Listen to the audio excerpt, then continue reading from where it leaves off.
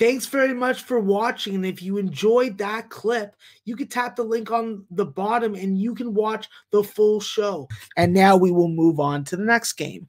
Now we're going to the NEC conference, a conference that I know well and I enjoy watching because they have a free streaming site that I get to enjoy on a daily basis. FDU is anywhere between a two and two and a half point uh, underdog with a total anywhere between 141 and a half and 142. This is a spot where I will be jumping on FDU.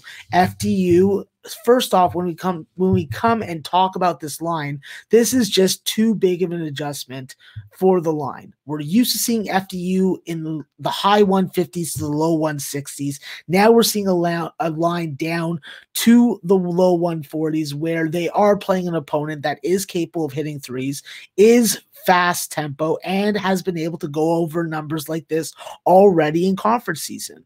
With FDU as a side, six out of their 10 last games as an underdog, they've cashed six of them. So they're making you money as a short dog, as a small dog. And I'm going to keep on riding that train. I think that with FDU, it is important for them to hit threes versus this three point defense of Wagner and to win at the free throw line. This is where they have their advantages. They are a better shooting team when it comes to the free throw line, when it comes to making field goals, when it comes to shooting from beyond the arc. As long as they do a better job on the offensive glass and pressure you even when they're up, they're going to win the battle of tempo, and the battle of tempo is going to determine who's going to win this game. Point guard play will be critical, and Jahlil Jenkins is the guy and man ready to tackle the task. He is snapped out of his shooting slump and is back playing 100% with his teammates who have now returned all from injury.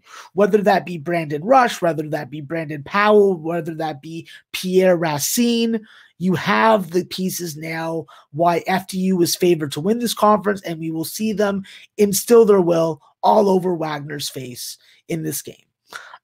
When I think about this total, both these teams give up 70 plus, both these teams score 70 plus.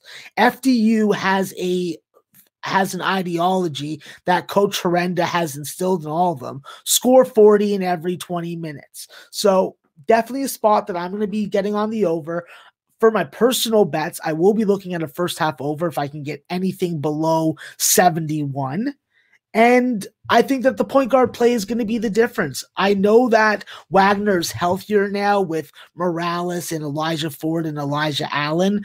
Definitely a versatile group and definitely a step up in competition. But I do think that FDU is the spot here. That's where I see the value.